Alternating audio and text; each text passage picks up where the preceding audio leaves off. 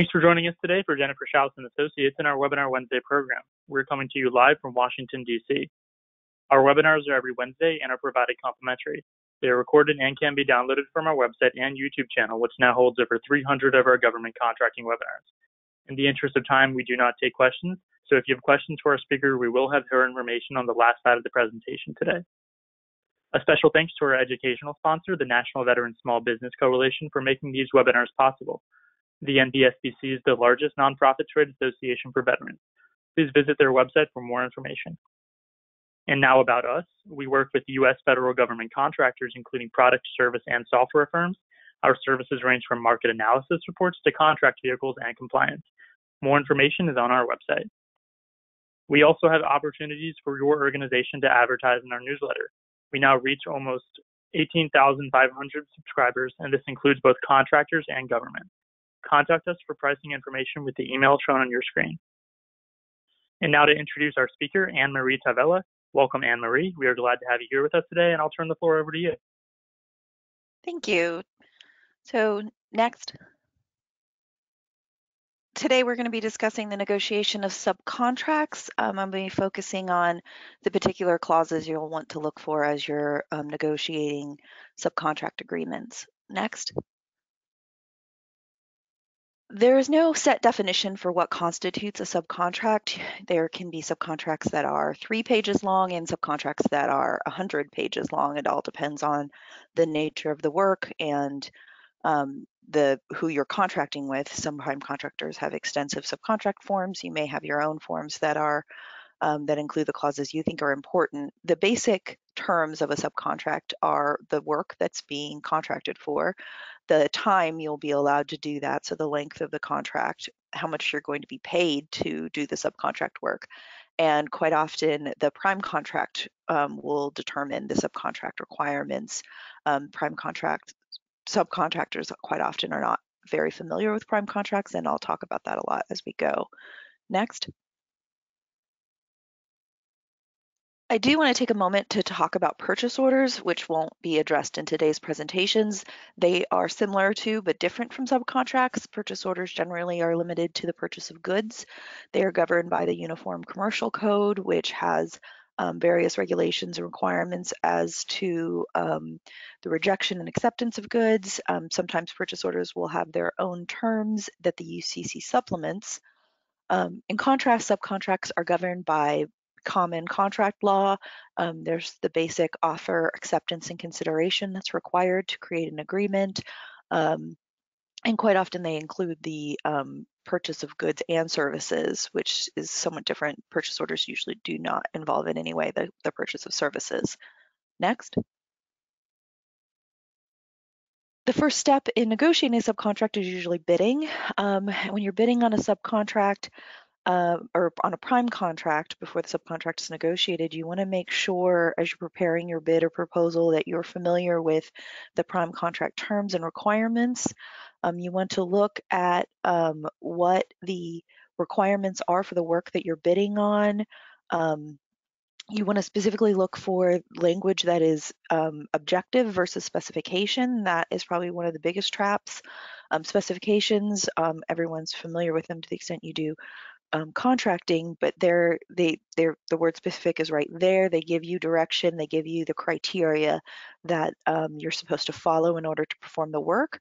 Objectives, in contrast, are um, vague they generally outside of the design build world um, objectives really don't give you a lot of direction as to how the work should be done. It gives you an end goal. Um, it's a lot easier to fight over whether you've met an objective than whether you've met a specification. So the extent you can um, revise terms to be more of a specification versus an objective, that's good. You also want to look at what the warranty requirements are um, and make sure that um, to the extent they go downstream to your suppliers or your sub subcontractors, that the warranty language is matching. If you're providing a piece of machinery that has a one year warranty, you want to make sure your subcontract matches that warranty length.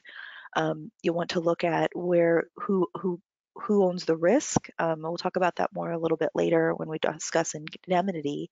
Um, but you also want to look at what's included, what's excluded, um, what you're actually agreeing to. um, to make sure you're not just aware of that, but what what is actually being included within your bid. Um, it's important to keep records as you go through this process. Um, if you end up in a situation later where you're trying to negotiate a change order or you do end up in a claim, you want to be able to um, demonstrate how you justified on the information you were given while you were bidding and what you relied on. It's particularly important because um, when you have a turnover with your employees, if the person who prepared the bidder estimate has left, you want to make sure there's records so you do have some understanding of how that got um, decided. Next. Um, this is a list of the primary clauses, which we're going to be discussing in more detail today, so I won't really go through the list, but I just wanted to give um, one slide where you can see them all, where what, what you're going to be wanting to look for as you negotiate your subcontract, and these are the clauses you want to pay particular attention to. Next. Um, the, both the incorporation of your bid and the order, um, or what we call the order of precedence is very important because this determines what is your subcontract. Quite often you'll get, you know, a document that, you know, maybe 20 or 30 pages that says subcontract agreement, but quite often the entire agreement is listed as being the drawings, the specifications, the prime contract terms. You want to make sure you are, um, as you're negotiating your subcontract, that you understand the world of what you're agreeing to. Um, also, you want to be clear as to what assumptions you're making to the extent you're agreeing to do things that are conditional, that needs to be very well spelled out. Um, also, uh, you want to make sure it's quite often your bid will be incorporated into your subcontract, but there's generally a clause that says to the extent there's a conflict between your bid and the subcontract, the subcontract governs. That can be particularly problematic if you have exclusions within your bid that are not reflected in the subcontract. In the situation where the subcontract governs, um, you may be required to provide the very items that you tried to specifically exclude. So um, you want to make sure that either your the conflict says that your bid governs or whatever exclusions are in your bid are also incorporated in the subcontract and there's no um, ambiguity as to what you're agreeing to do and what you're not agreeing to do. Next. Obviously, payment is very important. Um, that's why you're entering into this agreement is so you can get compensated for the work that you're performing. Um, you want to look for the payment terms and what rights the prime contractor might have to withhold payment from you. It's very common for there to be a withholding right. Um, and the if you're doing you know federal work there's the prompt payment act that can come into play which would um, not allow the prime contractor to withhold indefinitely they have to um, perform certain steps if they're withholding, but when you're looking at your subcontract, you want to make sure you're aware of what those steps are. Obviously, um, if you can negotiate um, just to revise any withholding agreement to be the more narrow you can make it the better because that would limit their right to withhold your money um, if there's if they're allowed to withhold for a cure period you want to make sure that's clearly defined so that way you can make sure you're addressing whatever concerns the, the prime contractor has in order to ensure you get timely paid. Um, there are requirements, like I mentioned, under the Prompt Payment Act, so these clauses must comply with that. Um, and then there's the the timing of payment, which we'll discuss in the next two um, slides. Next. Um, the most common payment term you'll see in a subcontract is pay when paid.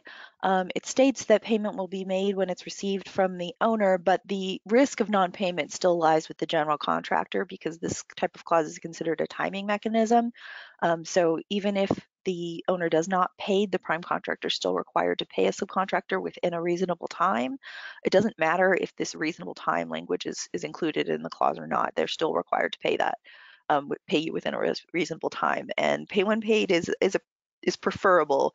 Um, so if you have this type of clause that you, you should be fairly comfortable. Um, it's pay if paid that can cause more problems, which is the next slide. Next. Pay if paid places the risk of a non-payment from the owner onto the subcontractor. Um, if the owner doesn't pay, you don't get paid, and it's considered um, a condition precedent clause and it requires specific language. So the language you want to be looking for and um, to try to negotiate out of is unless and until or if and only if. Um, courts don't like pay if paid clauses because of the risk placed on the subcontractor. Um, so they are only enforceable if the terms are clear, if they're not ambiguous. Um, there are several states that won't allow pay if paid clauses, which are listed here in the slide. And so if you have a pay if paid clause, if you can negotiate um, that clause, you want to try to turn it into a pay when paid clause because that is better for subcontractors. Um, but even if you're a prime contractor and you have a pay if paid clause, you need to know that it could be considered void if you um, don't use these specific words or depending on what state you're working in. Next. Changes are um, quite often arise, particularly in construction contracts. Um, and one of the biggest um, steps in terms of changes that you want to make sure you are familiar with when you're negotiating your subcontract is notice provisions. Um, you want to know how you can give that notice and when you need to give that notice. You want to make sure if there's a reference to the prime contract requirements that you can meet those.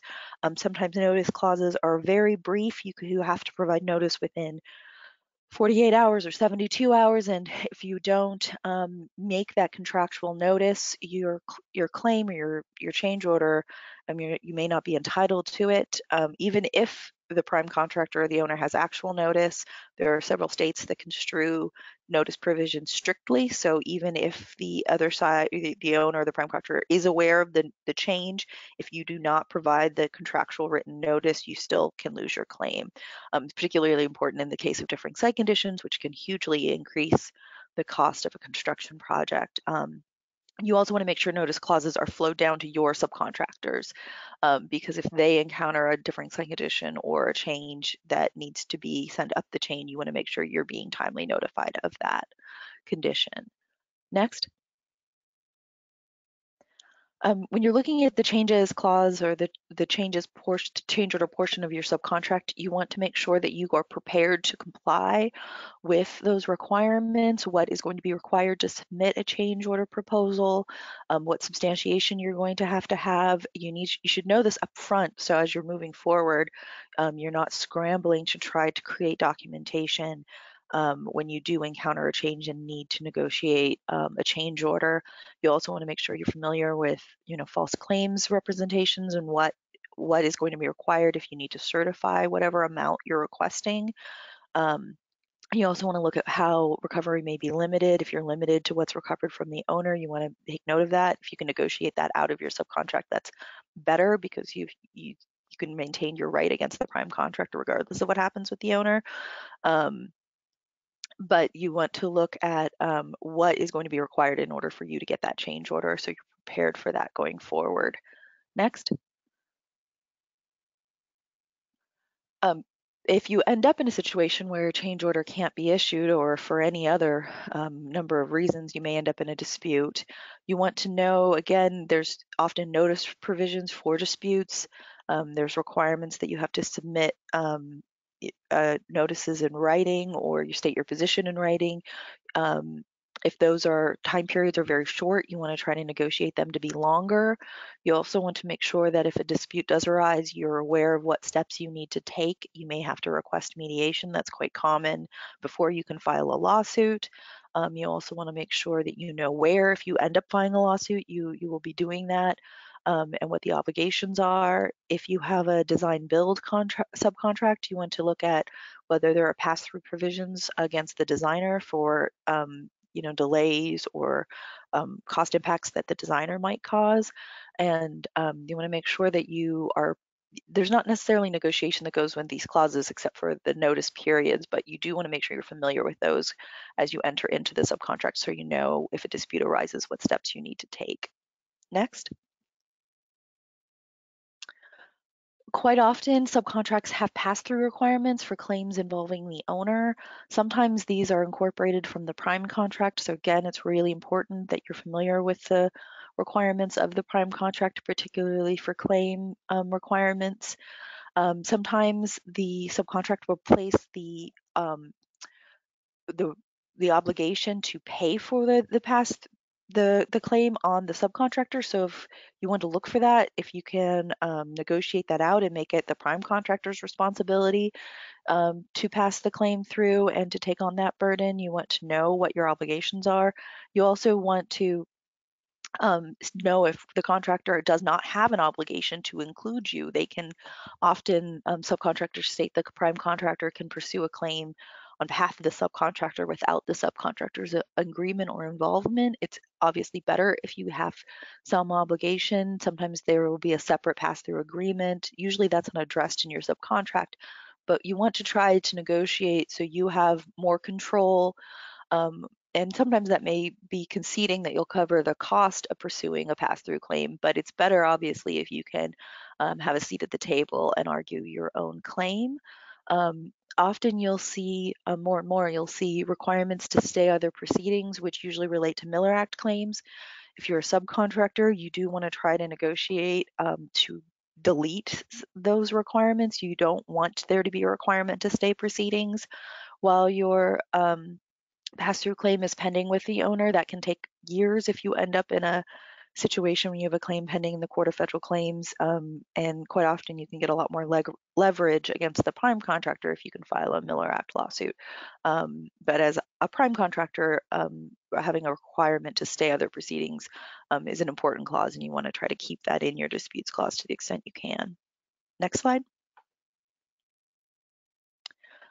As mentioned earlier, um, risk shifting is very important. Um, indemnity clauses are usually how um, you protect your the others each side protects themselves for from the negligence of the other party. What's important when you look at an indemnity clause, which often subcontractors sort of glaze, or well, everybody glazes over since they tend to be very legally written, um, you still want to look for certain buzzwords that I've, I've, bolded here in this slide. The obligation to defend is important because that can be very expensive. You have the obligation to step in and hire an attorney for um, the prime contractor or their other subcontractors or the owner. That can be um, quite substantial in terms of the cost of that. You also want to look for how um, broad the clause is. Uh, generally, they are limited to bodily injury and property damage, which is what you'd want. Um, sometimes it'll simply say all claims or all damages or all injuries, which can include not just third-party claims but direct claims. Those that's very broad language, which you'd want to try to narrow, if at all possible, to be limited to, um, like it says here, bodily injury and property damage. You also wanted it want it to be as narrow as possible in terms of limiting it to your negligence. Um, the indemnity clauses that try to get you to indemnify another party for their negligence are generally um, not valid. They're considered void under the law, um, but usually it's not uncommon to see them try to be um, written more broadly. So maybe there's, you know, to the partial negligence or contributory negligence um, that can be apportioned. Those are generally acceptable, but um, as you're negotiating a subcontract, the key when you're looking at indemnity clause is try to make it um, as narrow as possible. And you also want to see whose negligence you're um, obligated for. So in this clause, you'll see here, it includes subcontractors, subcontractors, and anyone employed by your subcontractor. So um, if you are required to indemnify for the actions of your subcontractors, you want to make sure that that same obligation is flowed down. So those subcontractors um, are all also obligated to indemnify you. So if you end up having to indemnify the prime contractor for their actions, you can then send that also down the chain. Um, so you do want to make sure whatever subcontracts that you're issuing have similar indemnity clauses. Next. Termination for default is um, so, sometimes this is included within a default clause or disputes clause. Sometimes it's a separate clause. Um, sometimes they it will be a clause that incorporates the procedures from the prime contract. So again, it's important to know the requirements and terms of the prime contract. Um, what you want to be looking for when you're negotiating a subcontract is what obligations they the prime contractor has to give you a notice to cure and the time period for that notice um, and cure period. Sometimes they will be very short, 24 hours, 48 hours. You want to try to extend that as much as possible. Um, if you can get it to be five days, seven days. Um, because if you're given a notice to cure, you want to make sure you actually have the ability to cure whatever the issue is within the time period. And quite often, one or two days is just not an adequate amount of time to fi fix a um, alleged default. Um, you also want to look at what the um, prime contractor is entitled to. Can do they have the right to take over the work, which may include their right to take the equipment that you're using um, to basically take over for you, um, and, and what those steps are. Um, if you have obligations to provide a recovery plan or a schedule, you want to make sure you understand what those obligations are. And um, in the event that you are terminated for default, you do also want to make sure that there's clear um, appeal procedures. It, is there a next step that you can appeal, or do you end up in a lawsuit, or if do you have to go to mediation first? And, and what those obligations are. The really the key here is the cure period because that's usually where um, you can have the, the most chance to avoid um, uh, the actual default from happening. Next. Um, you don't always see termination for convenience clauses within a subcontract. When you do, usually they relate to um, the right to terminate the subcontract for convenience in the event the prime contract is terminated for convenience.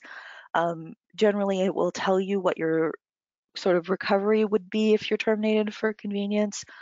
Um, this is more in the federal contract world, but sometimes private contracts will have termination for convenience clauses. Um, it's almost it's it's very very rare to see a subcontract form that would allow a subcontractor to terminate for convenience. There are forms out there that include that right, but um, I don't see them be, get used very much. So um, the key here is just to know if you are terminated for convenience, what you'd be entitled to, so you can make sure to price that and close out the contract appropriately and what you'll be entitled to. Next slide. In the federal contract world, flow downs are very important. Um, there are FAR clauses that are mandatory that must be flowed down to subcontractors and sub-subcontractors. So if you you'll often get an attachment to your subcontractor, which are the mandatory flow downs, and you should know which of those FAR clauses should be flowed down to your subcontractors. Um, they're often incorporated by reference, so you don't even get to see the full clause, but the FAR is available online if you're not familiar with it. Um, it's not always an issue on smaller size subcontracts. Usually there's a dollar threshold associated with flow down clauses. Um, but if you have a larger dollar subcontract, it's important that you're aware of what your flow down obligations are. And really it's important that you're flowing those down to your subcontractors. So as you're reviewing your subcontract, you wanna make sure to know what is, again, this goes to what's included and what's not included in your subcontract agreement. Next. Um, there's always a myriad of legal clauses, um, most of which get glazed over. There's really not much to negotiate here, but it is important that you're aware. Sometimes there are things that you'd want to negotiate. Um, more and more you'll see, I've been seeing clauses that don't allow either side to get attorney's fees in the event of a, of a dispute, and that's often to discourage subcontractor claims and subcontractor ideas that if you file a lawsuit, you'll be able to get your attorney's fees back. Um, so that may be something you'd want to negotiate around. You also want to look at if you had to file a lawsuit, where would that lawsuit get filed? If you're subcontractor located in Texas and your projects in Maine, you may end up having to file a lawsuit in, in Maine and have to be familiar with the laws of Maine. So you want to know what those obligations are. Um, as I mentioned earlier, you also should know whether you'd be obligated to go to um, potentially arbitration. So you have an arbitration demand versus filing a lawsuit. Um, and also look at what the damages may be limited to. There are quite often um, subcontracts don't allow for indirect or consequential damages, um, and the way you price your claim can be limited. So if you don't price your claim collect correctly, um, you may not be able to pursue it. And as you're negotiating your subcontract, you want to make sure that your cost systems, your accounting systems are prepared to price the claim in a way that would be accepted um, and if, if if you would, if not, if you're not capable of doing that, you may want to try to negotiate out some of the limitation of damages clauses. Next.